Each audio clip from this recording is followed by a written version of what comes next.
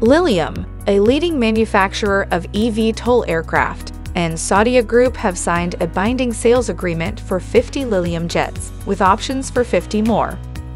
Saudia Group aims to enhance connectivity and reduce travel times, with the jets supporting travel across the kingdom. This agreement marks the largest firm order of eVTOL aircraft in the region by an airline. It demonstrates Saudia Group's strong commitment to electric aviation and the superior performance of the Lilium jet. The contract includes deposit schedules, delivery timelines, and performance guarantees, with a comprehensive agreement for fleet maintenance also planned.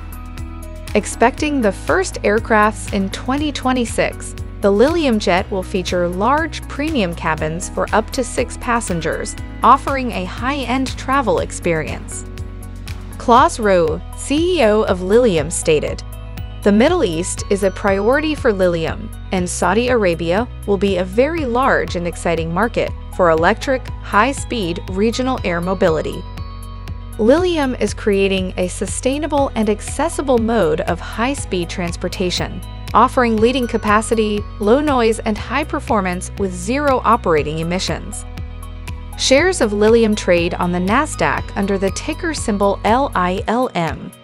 For more information or to sign up for our free daily newsletter, visit greenstocknews.com.